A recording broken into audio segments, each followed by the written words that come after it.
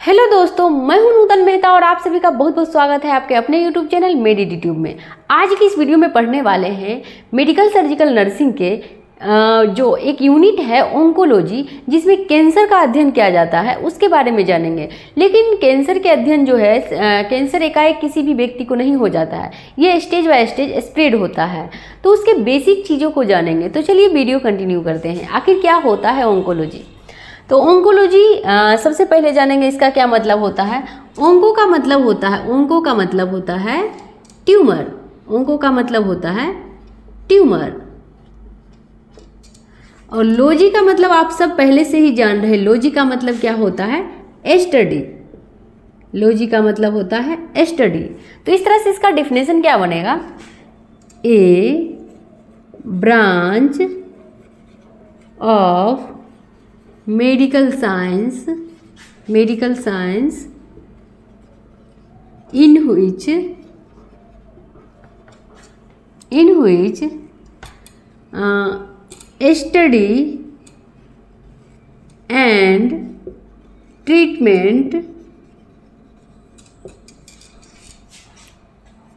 of tumour तो इसमें क्या किया जाता है ऑन्कोलॉजी के अंदर? ये एक मेडिकल साइंस का ऐसा ब्रांच है जिसमें क्या करते हैं हम लोग की ट्यूमर के बारे में स्टडी करते हैं, उसके बारे में जानकारी लेते हैं। अगर किसी व्यक्ति को हो गया तो उसका ट्रीटमेंट किया जाता है। वही होता है ऑन्कोलॉजी तो इसके फादर क्या, कौन है उसके बारे में जानेंगे। Father of oncology father of oncology B J Kennedy और ये एक अमेरिकन फिजिशियन थे।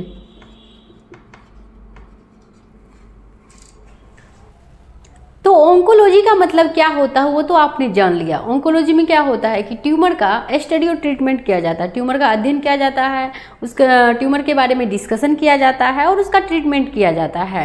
लेकिन अब जानेंगे जो ट्यूमर आखिर ट्यूमर होता क्या है? हमारे बॉडी में ट्यूमर का, वो क्या होता है? किस तरह से कैंसर सेल में कैंसर सेल में डेवलपमेंट होता है? कौन सा ट्यूमर नॉर्मल होता है? कौन सा ट्यूमर ट्यूमर जो है हमारे बॉडी को ज़्यादा हार्म पहुँचाता है? तो वो उसके बारे में जानेंगे। तो ट्यूमर को और किन किन नामों से जाना जाता है? किन किन चीज़ से उनको जाना जाता है? ट्यूमर का और कितने सारे नाम हैं? ट्यूमर को दूसरा एक जो इसको न्यूप्लाज्म भी कहते हैं, ट्यूमर को न्यूप्लाज्म भी कहते हैं। और ये ट्यूमर तो जो कि आप जान ही रहे जो कि लंप्स होता है, गांठ होता है। और इसको न्यू ग्रोथ भी कहते हैं।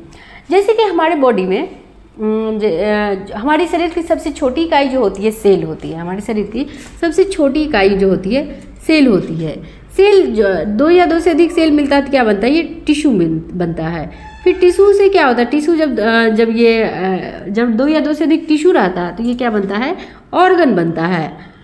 और ऑर्गन क्या होता है कि सिस्टम बनता है। सिस्टम से क्या होता है कि बॉडी बनता है। इस तरह से होता है, ये हमारे बॉडी की एक तरह का सीक्वेंस है, सबसे छोटी इकाई इकाई सेल है, जब हम लोग साइटोलॉजी पढ़ते हैं। तो साइटोलॉजी में क्या होता है कि एक होता है माइटोटिक एक होता है मियोसिस माइटोटिक जो होता है कि समसूत्री विभाजन में क्या होता है सेल का? एक सेल से दो सेल बनेंगे और जो, दो सेल से चार सेल बनेंगे, ये नॉर्मल कंडीशन होता है। और इसी में क्या होता है कि अर्धसूत्री में क्या होता है कि सेल जो होता है एक सेल से क्या होगा कि दो सेल से एक सेल इस तरह का अर्धसूत्री विभाजन होता है। ये तो नॉर्मल कंडीशन होता है। लेकिन ट्यूमर के कंडीशन में क्या होता है कि जब न्यू न्यूप्लाज्म का न्यू ग्रोथ होता है, उस समय क्या होता है? एक सेल से दो दो से दस, बीस, तीस, चालीस, पचास इस तरह से अनकंट्रोल्ड बनते रह जाता है। तो क्या करता है? इस तरह से ये हमारे बॉडी को हार्म पहुंचाता है। तो आखिर ट्यूमर होता क्या? उसके डेफिनेशन तो जान लेते हैं। It is defined as abnormal mass of tissue the growth which exceed and uncoordinated with that of normal tissue and the growth persist even after removal of stimulus that has caused neoplasm neoplasm को ही क्या कहते हैं कि new growth भी कहते हैं इसी को क्या कहते हैं न्यू ग्रोथ न्यू ग्रोथ भी इसी को कहते हैं तो क्या होता है कि ट्यूमर जो होता है एबनॉर्मल मास ऑफ़ टिश्यू होता है। जो कि क्या होता है कि नॉर्मल जो सेल होता है नॉर्मल जो सेल डिवीज़न होता है, उससे अलग होता है। उससे क्या होता है? अलग होता है। और उससे उसका फ़ंक्शन भी मिलता जुलता नहीं रहता अनकोऑर्डिनेटेड रहता है। और जब क्या होता है कि जब ये ग्रोथ हो जाता है, जो न्यू ग्रोथ रहता है, जो ट्यूमर, उसके स्टूमुलस को हटा भी दिया जाता है तो ये फिर भी इसका क्या होता है कि ग्रोथ बना रहता है। इसका जो एबनॉर्मल मास ऑफ़ टिश्यू का जो ग्रोथ है, ये बना रहता है। यही होता है ट्यूमर नॉर्मल केस में क्या होता है कि एक सेल से क्या होता है कि दो सेल बनेगा। दो सेल से फिर क्या होगा कि चार सेल बनेगा। लेकिन इस केस में क्या होगा कि एक सेल से दो सेल दो से दस, बीस, तीस, चालीस, पचास, इस तरह से ये बढ़ते चला जाता है। इसका कोई मतलब लिमिटेशन ही नहीं रहता है। एबनॉर्मल मास ऑफ़ टिश्यू रहता है। क्या होता है कि एक तरह से अनकंट्रोल्ड इसका क्या होता है कि ग्रोथ होता है। अनकोऑर्डिनेटेड रहता है। जो हमारा नॉर्मल सेल का जो डिवीज़न होता है, उसमें उस तरह से मिलता जुलता नहीं रहता। ये एकदम ग्रोथ करते ही जाता है। तो इस कंडीशन को इस जो होता है, इसको कहते हैं ट्यूमर ट्यूमर जो होते हैं, ये दो टाइप के होते हैं। एक होते हैं बेनाइन ट्यूमर दूसरा होता है मेलिग्नेंट ट्यूमर बेनाइन ट्यूमर जो होता है, ये बहुत ज़्यादा इनोसेंट होते हैं, ये मासूम होते हैं। ये अपने जो इसका एरिया है फिक्स्ड एरिया रहता है कैप्सुलेटेड एरिया ये अपने दीवार के अंदर ही ग्रोथ करते हैं। उससे बाहर ये नहीं फैलते हैं। लेकिन मेलिग्नेंट ट्यूमर जो होता है, ये खतरनाक होता है। जहाँ मन तहाँ, जिसको मन जिसको धक्का मुक्का करके सभी ऑर्गेन को इन्फेक्टेड कर देता है। लेकिन बेनाइन जो होता है, ये बहुत इनोसेंट होता है, ये बहुत मासूम होता है, ये किसी को हानि उतना नहीं पहुँचाता है। बस इसका जो कैप्सुलेटेड एरिया है, जो इसका सराउंडिंग एरिया है जो इसका फिक्स्ड एरिया है, बस वहीं तक इसका ग्रोथ होते रहता है। तो चलिए जानते हैं आखिर क्या होता है। Neoplasm also regarded as tumour neoplasm को ही ट्यूमर कहते हैं और इसको ही न्यू ग्रोथ कहते हैं। और इसका दो टाइप होता है। एक होता है बेनाइन ट्यूमर बेनाइन ट्यूमर जो होता है, ये इनोसेंट होता है। और एक होता है मिलिग्नेंट ट्यूमर मिलिग्नेंट ट्यूमर जो होता है, ये बहुत ज़्यादा खतरनाक होता है.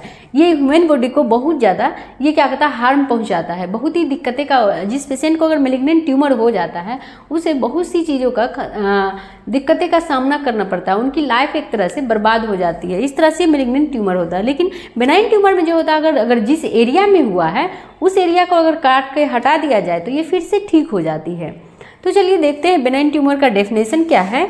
तो बेनाइन ट्यूमर जो होता है it is defined as a usually usually harmless growth ये जो है हार्मलेस ग्रोथ है.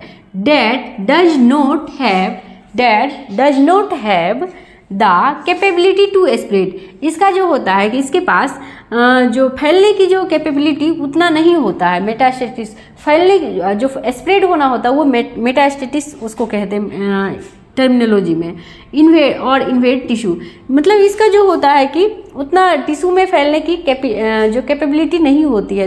दूसरे टिश्यू में इसका फैलने का औकात नहीं है। ये अपनी दीवार के अंदर रहता है। ये क्या रहता है? कैप्सुलेटेड रहता है। और ये हार्मलेस ग्रोथ रहता है। ये ज़्यादा ह्यूमन बॉडी ह्यूमन बॉडी जो होता है, जो व्यक्ति, जिन व्यक्ति को हो गया, उसको ज़्यादा ये क्या करता है कि ज़्यादा दिक्कतें का सामना उसको नहीं करना पड़ता। उसको ये ज़्यादा हार्म नहीं करता है। उसको ये ज़्यादा कठिनाइयों का सामना नहीं करवाता है उसको, उस पेशेंट में उतना ज़्यादा क्रिटिकल कंडीशन नहीं होता है। तो इसका जो मेन डिफरेंस क्या होता है? इसका जो, ये होता है कि ये जो सराउंडिंग एरिया जो है, उसमें ये नहीं फैलता है। Does not capability to spread इसमें क्या होता है कि फैलने की उतना कैपेबिलिटी नहीं होती है। डजेंट इन्वेड इनटू सराउंडिंग और सराउंडिंग जो आसपास के टिश्यू एरिया हैं ब्लड ब्लड वेसल्स हैं अदर ऑर्गन्स हैं, उसमें भी क्या होता है कि इसका ये नहीं फैलता है। लेकिन मेलेग्नेंट ट्यूमर क्या होता है? मेलेग्नेंट ट्यूमर जो कि होता है, बहुत ही ज़्यादा खतरनाक होता है ये।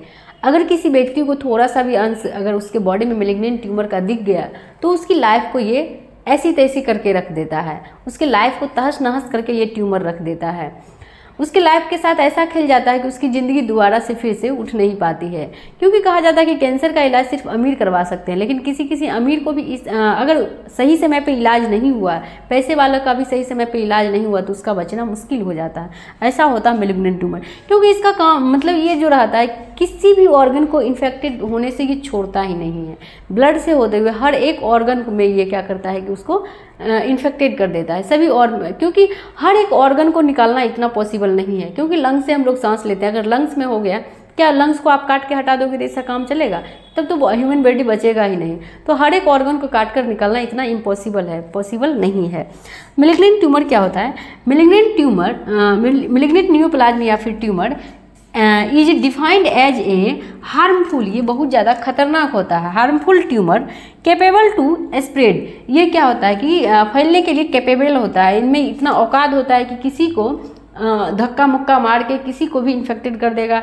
किसी से भी ये मतलब जो सेल होता है उससे ये पूरा इस, उस सेल को क्या कहता है? तोड़ ताड़ के उससे झगड़ा करके उसको इन्फेक्टेड करके क्योंकि इतना ज़्यादा ये मज़बूत ही होता है। और invasion to other other tissue में क्या करता है कि स्प्रेड हो जाता है। स्प्रेड होना ही मेटास्टेटिस कहलाता है, क्योंकि मेलिग्नेंट ट्यूमर इतना ज़्यादा हार्मफुल होता है, इतना ज़्यादा खतरनाक होता है। तो आपने अभी तक जाना है ट्यूमर दो टाइप का होता है, एक होता है बेनाइन दूसरा होता है मेलिग्नेंट बेनाइन जो होता है, ये केपेबल नहीं होता है अदर जगह स्प्रेड करने के लिए, लेकिन मिलिग्नेंट ट्यूमर जो होता है, ये केपेबल होता है अदर टिश्यू में स्प्रेड करने के लिए अदर ऑर्गन में स्प्रेड करने के लिए। और मिलिग्नेंट ट्यूमर को ही कैंसर कहते हैं। चलिए अब जानते हैं कैंसर क्या होता है। तो कैंसर जो होता है, the word cancer is derived from Greek word जो कैंसर जो है, ये ग्रीक वर्ड से लिया गया derived from from Greek word crab Greek word crab से लिया गया है। जो ये ग्रीक वर्ड है, ये इसमें ग्रीक वर्ड क्रैब से लिया गया है। और क्रैब का मतलब होता है as a crabs moves moves fast in all direction fast fast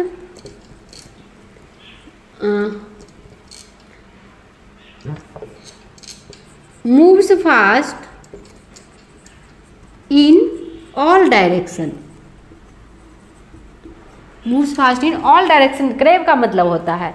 उसके बाद है सिमिलरली मतलब उसी तरह द डिज़ीज़ कैंसर जो कैंसर डिज़ीज़ है ये स्प्रेड इन ऑल डायरेक्शन ये भी क्या होता है कि उसी तरह जैसे crabs fast in all direction उसी तरह क्या होता है कि ये जो डिज़ीज़ है, ये भी मूव करता है, ये भी स्प्रेड होता है। हमारे बॉडी के ऑल डायरेक्शन में स्प्रेड होना स्टार्ट हो जाता है।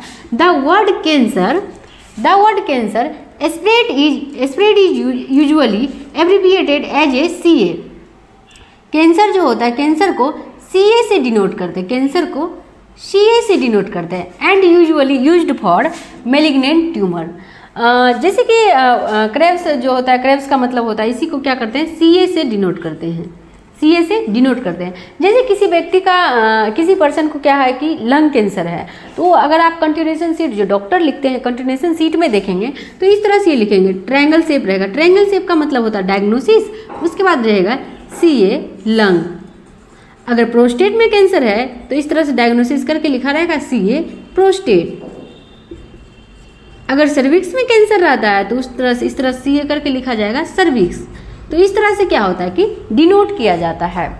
ये बहुत ही खतरनाक होता है. क्या होता है कि जिस तरह से मेनली कैंसर का जो अर्थ होता है कैंसर जो है, ये ग्रीक वर्ड क्रैब से लिया गया. क्रैब का मतलब होता है कि moves fast in all direction और उसके बाद सिमिलरली उसी तरह जो ये डिज़ीज़ है कैंसर डिज़ीज़ है, ये भी क्या होता है कि फास्ट मूव होता है ऑल डायरेक्शन में। स्प्रेड पूरा बहुत जल्दी से फैलता है। बॉडी के ऑल डायरेक्शन में ऑल टिश्यू में ऑल ऑर्गन में ये फैलना स्टार्ट हो जाता है।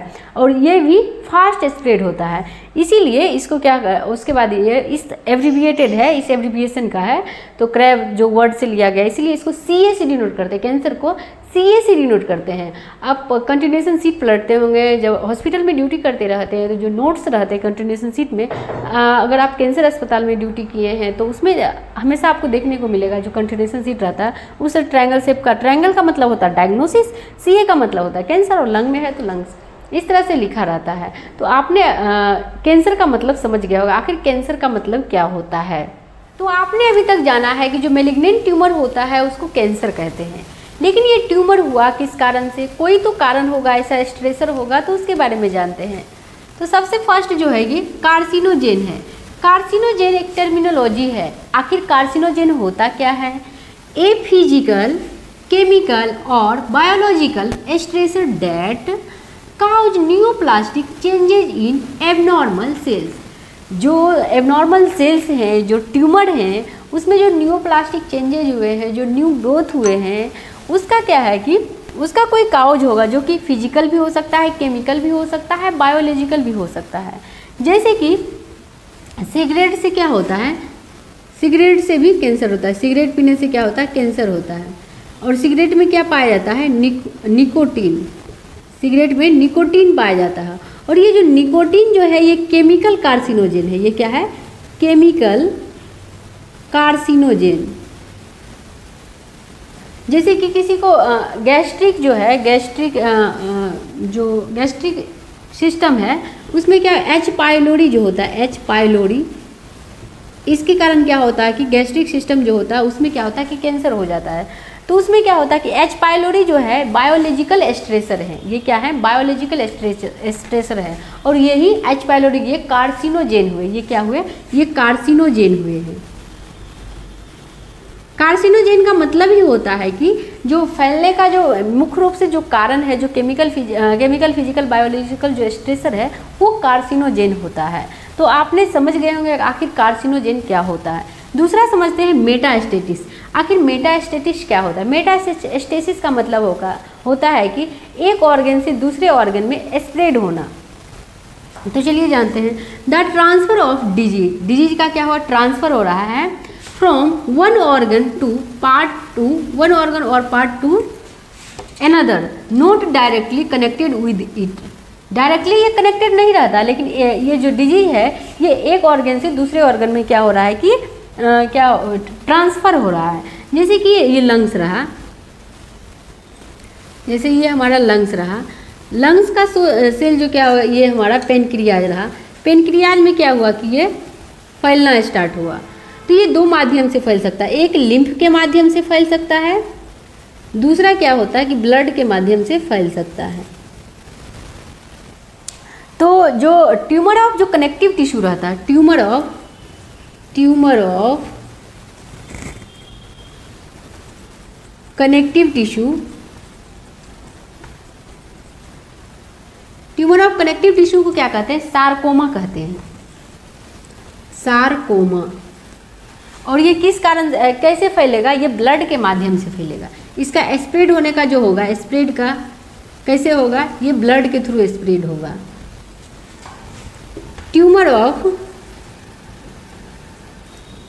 tumour of epithelial tissue epithelial tissue इसको कहते हैं कार्सिनोमा कार्सिनोमा और ये कैसे स्प्रेड होगा? ये लिम्फ के लिम्फ के माध्यम से स्प्रेड होगा। ये जो स्प्रेड होगा, ये होगा लिम्फ के माध्यम से स्प्रेड होगा। तो क्वेश्चन इस तरह से रहेगा कि मतलब कनेक्टिव टिश्यू और एपिथेलियल टिश्यू दोनों मतलब कार्सिनोमा और सार्कोमा दोनों, जैसे कि सार्कोमा रहेगा तो उसका जो स्प्रेड होने का जो रहेगा, वो रहेगा ब्लड कनेक्टिव संयोजी उत्तक का भी कोई भी मतलब संयोजी उत्तक का जो ट्यूमर होगा, वो ब्लड के माध्यम से स्प्रेड होगा, जिसको कहेंगे सार्कोमा और जो ट्यूमर ऑफ़ एपिथेलियल टिश्यू जो होगा, उसको कहेंगे कार्सिनोमा और ये कैसे फैलेगा? लिम्फ के माध्यम से। अगर दोनों दिया रहेगा तो आपको लिम्फ में टिक करना है। अगर कनेक्टिव टिश्यू दिया गया है तो उसमें ब्लड टिक करना है। अगर ऐसे इस तरह बारीकी से दिया गया एपिथेलियल टिश्यू है तो उसमें लिम्फ टिक करना है। इस तरह से आपको आराम से क्वेश्चन को सॉल्व करना है अच्छे से क्वेश्चन को सॉल्व करना है एक एक इसीलिए टर्मिनोलॉजी टर्मिनोलॉजी को आपको ध्यान रखना है। मैं ये सीरीज़ स्टार्ट कर रही हूँ ओंकोलॉजी का। ये भी फ़र्स्ट सीरीज़ होने वाला है। इसके आगे हम सारी बेसिक से बेसिक सारे एक एक चीज़ को बताएँगे। तो चलिए अब जानते हैं कि कार्सिनोमा क्या होता है। कार्सिनोमा जो होता है malignant tumour of epithelial tissue जो क्या होता है कि malignant tumour of epithelial tissue और ट्यूमर ऑफ़ एपिथेलियल टिश्यू क्या होता है कि ये कार्सिनोमा होता है। और ये स्प्रेड कैसे होता है? रूट ऑफ़ मेटास्टेटिस क्या होता है? ये इसका मेटास्टेटिस जो होता है, ये लिम्फ से लिम्फ के थ्रू क्या होता है कि ये स्प्रेड होता है। इसका मेटास्टेटिस रूट ऑफ़ मेटास्टेटिस है, ये लिम्फ है। लिम्फ। सार्कोमा क्या होता है? ये सार्कोमा जो है, ये क्या होता है? Malignant tumour of mesenchymal tissue mesenchymal tissue जो होता है, वो होता है कनेक्टिव टिश्यू को फॉर्म करने वाला टिश्यू मिजन काइमल टिश्यू जो होता है। ये क्या होता है कि जैसे जैसे ये ल्यूकेमिया है ल्यूकेमिया जो है, एक तरह क्या है? ये सार्कोमा है। ल्यूकेमिया जो है, एक तरह का सार्कोमा है। और ये किस तरह से फैलेगा? रूट ऑफ़ मेटास्टेटिस क्या रहेगा? ब्लड रूट ऑफ़ मेटास्टेटिस क्या रहेगा? ब्लड अगर क्या होगा कि ट्यूमर ऑफ़ एपिथेलियल टिश्यू जो होता है, जो कार्सिनोमा होता है, इस, इसका क्या है? रूट ऑफ़ मेटास्टेटिस लिम्फ अगर सार्कोमा है, अगर शार्कोमा है तो इसका रूट ऑफ़ मेटास्टेटिस क्या रहेगा?